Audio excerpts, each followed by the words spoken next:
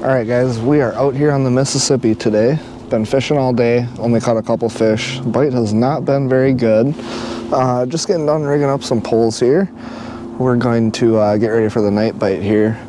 Gonna use the Acme V-Rod, 3 8 ounce, got a bunch of different colors rigged up. We'll see which one does best. Uh, one little tip, we like to add split rings.